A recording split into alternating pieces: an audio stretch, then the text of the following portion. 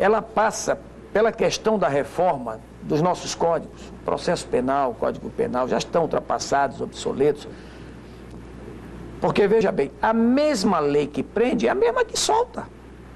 Um bom advogado, com base nos artifícios dessa lei, você teve dinheiro, você está solto. Não vamos longe. A questão do jornalista, aquele que matou aquela desafeta sua namorada, Pimenta lá, da Veiga. Pimenta da Veiga, ele só foi preso Pimenta- realmente. Pimenta da Veiga, não. Pimenta da Veiga é o, É o- ministro. ex-deputado, É. ministro. É o ministro. É o Pimenta Pimenta, Neves. Pimenta Neves. Neves. Pimenta É, Neves. é. Ele só foi preso, primeiro, pela pressão da mídia Pressão e, também, e também por causa da familiares, familiares. articulados. Quantos anos? Quantos Mais anos? de 10. Não Mais de 10 anos. E veja, tudo em grau de recurso, tudo em grau de recurso. Segundo, quando você aplica uma pena máxima, digamos, 30 anos de reclusão, né? você vê às vezes julgamentos aí, homicídio qualificado, triplamente qualificado, matou não sei quantos, bababá. Cento e tantos anos. Ah, um negócio só para causar um efeito psicológico. né? Agora, dos 30 anos, que é a, a, a pena máxima, se você decreta 15 anos regime fechado, cumpra os 15 anos em regime fechado. Você não tem que ter. Tem casos aí, embora seja réu primário, bons antecedentes, residência fixa, etc., ou seja, todas essas atenuantes que você vai levar para o julgamento, se ele está decretado a cumprir aquela pena no, regime fechado de 12, 10, 12 anos, se cumpra no regime fechado. Porque senão, aí é que começa a impunidade.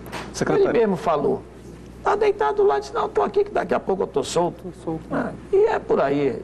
Isso nos causa indignação, nos causa revolta. Tem casos de elementos do centro, que 12, 15 vezes já deram entrada no primeiro DIP. Aí volta de novo lá o PM diz, pô, de novo, companheiro.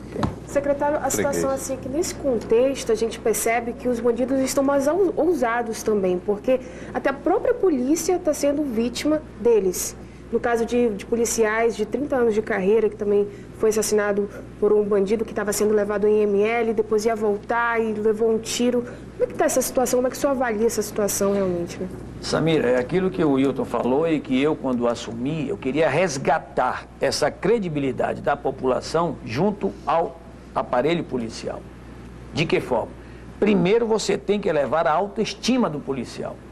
Elevar a autoestima. Porque veja bem, uma instituição de caráter permanente como são Polícia Militar e Polícia Civil. Né? Ora, se você tem a imprensa batendo diariamente, como nós assistimos aí ao longo desses quase seis meses, diariamente, você não vê um fato positivo, né? Ah, quando muito você vê ali uma apreensão, uns quilinhos de droga, etc. E, tal. e só batendo, só batendo e só batendo. Qual é a autoestima que você vai ter Dá-se a impressão de que quando não está fazendo chegar nada correto. e perguntar quem é você? O cara baixa a cabeça e diz, eu sou coronel da polícia, eu sou um investigador da polícia.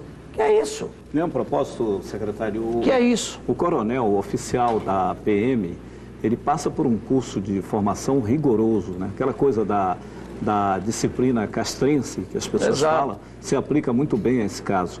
Agora, o que, que o senhor acha do oficial que depois de passar por tudo isso, vira carregador de pasta do desembargador, do juiz, do deputado, do político, do conselheiro do Tribunal de Contas? Há alguma forma de começar a mudar isso? Eu diria para você que é uma questão de foro íntimo, porque eu nunca me. Apesar de passar esse tempo à disposição e tudo, mas sempre numa atividade fim. Né? Isso aí passa por uma questão de orgulho até do profissional. Né? É questão de orgulho, de vaidade profissional. Tá? É, eu não vou dizer aqui que não acontece, porque a gente sabe que acontece.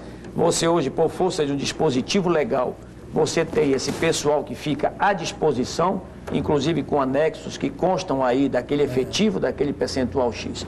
Agora, ele vai para lá também para ficar à disposição de uma assessoria militar, de uma casa militar, enfim, para ele ser um elo entre aquele poder e a segurança Na pública. verdade, Mas aí ele ganha, Não. ele ganha, ele ganha pelo teto, enquanto os que ficam na corporação estão ganhando o quê? Um delegado de primeira Mas está ganhando se aí há de 6 mil fazer? reais. Viu, porque é um dispositivo resquício legal. Ainda, isso é o resquício da ditadura, né, que, por exemplo, em todos os setores existe a Casa Militar. Isso aí é uma herança maldita ainda né, do golpe de 64, e ver a de- redemocratização do país e não conseguiram acabar é, com essa distorção. Isso existe desde o golpe de 64, foi implementado né, os famosos carregadores de pasta. Eu, quando presidente do sindicato, recebi até ameaças, eu sempre resisto isso. Em off, coronel sabe, nós vamos estender esse assunto, porque o tema não é esse. Porque um determinado secretário tinha 134 policiais com ele. O secretário de São Paulo, na época, tinha sabe quantos? 34. Ou seja, o do Amazonas tinha 100 a mais do que. E eu publiquei os nomes, inclusive no jornal que já não existe mais, e deu o maior problema do mundo. Mas essas Porque- liberalidades estão é, acabando, não é? Ah, muito, mudou muito, É, mudou muito. A tendência é você Secretário. realmente colocar na atividade fim, É, entendeu? a tendência é essa. Secretário, voltando àquele tema que eu acho empolgante da, da política aplicada lá nos Estados Unidos, na, em Nova York, Certo. na Colômbia e também no Rio de Janeiro, em parte no Rio de Janeiro. É, veja bem, um dos itens da teoria do tolerância zero, nós já falamos aqui sobre efeitos, efeitos da certo. criminalidade. Eu já sei até onde você quer chegar. Vamos, che- vamos falar nas causas. Vamos. As causas são fundamentais, são importantes. Uma das causas, sem dúvida alguma, é a prevenção. A prevenção na sua área se faz com a participação do policial na sociedade, interagindo, trabalhando, conversando, sendo um, um amigo da sociedade. perfeito. Como é que você vai fazer isso aqui? O Ronda no Bairro, ele passa necessariamente pela filosofia de polícia cidadã. né?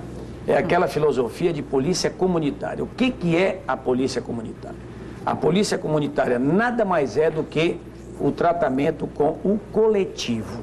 né? A filosofia é esta. Quando eu falo no coletivo, é a participação, aquilo que você está acabando de dizer, da comunidade com o policial que deixa de ser uma polícia reativa para ser uma polícia proativa. Aí sim, ela como proativa, ela vai trabalhar na parte da prevenção. Então, o Ronda no Bairro, que nós vamos agora implementar no início de 2012, como é que se pode. Eu vou falar rapidamente, dar uma pincelada nisso aí. Ah, nós temos Manaus georreferenciada com um levantamento de 192, 194 setores nas seis áreas divididas Manaus nessas Nas seis áreas. Zonas zonas. norte, sul, Sul, leste, centro-oeste. oeste, eh, centro-sul e centro-oeste. Tá? Isso aí é um georreferenciamento e 192 setores. Cada setor desse, ele compreende um raio, uma extensão de aproximadamente 3 quilômetros quadrados. Tá? Quadrilátero, com uma extensão considerada, até pequeno. E ali você vai ter uma viatura com toda uma tecnologia embarcada nível de primeiro mundo, né? duas motocicletas e 16 policiais militares revezando-se em três turnos de oito horas.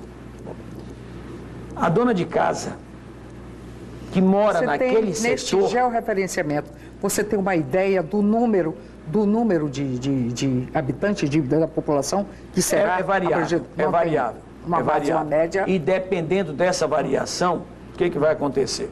Você, às vezes, cobre uma extensão até um pouco maior do que os 3 quilômetros quadrados, porque tem outras áreas que são muito mais densas, como estabelecimentos educacionais, centros comerciais, etc. E tal. Então, isso aí é muito variável. Né? Agora, essa pessoa ela vai ter o telefone daquela viatura, daquela guarnição que está ali, com o nome do Wilton, com o nome do Marcos Santos, com o nome da Samira. A linha direta. Três. Linha direta. Tá? Vai ter um imã na geladeira dela, onde tem ali o número do telefone, com a fotografia, inclusive, desses policiais que compõem aquela guarnição. Isto daí, por si só, você já passa a interagir com o policial, porque você passa a conhecê-lo, como ele sabe da sua atividade também ali naquela rua, naquele setor. Esses Certo. policiais já Nós estão sendo vamos- treinados, né? Nós vamos já já fazer sabia, né? mais um intervalo e voltamos já já. Aguarde aí.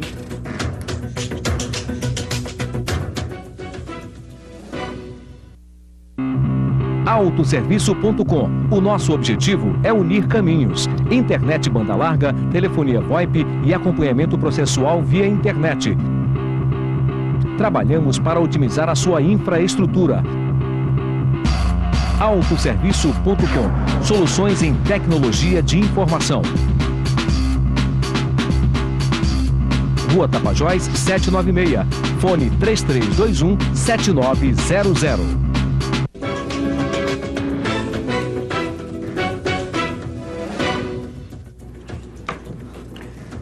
De volta com o programa Roda Viva Amazonas, entrevistando o Coronel Paulo Roberto Vital de Menezes, secretário de Segurança Pública. Me parece que ficou algo que você não conseguiu explicar, não houve tempo. Verdade? Tá, eu, o que eu queria explicar ainda com relação ao Ronda no bairro. Questão do treinamento de pessoal, porque nós vamos receber viaturas com tecnologia a nível de primeiro mundo e o pessoal há de perguntar, e aí? Quem vai operar? Logicamente, que não adianta você equipar com armamento, fuzil, viatura, etc., se você não capacitar recursos humanos. Tá? Quem vai operar tudo isso é o homem. Agora, quando você fala em termos de capacitação profissional dos nossos recursos humanos, isso aí, para mim, é o maior investimento. É o maior investimento. Por quê?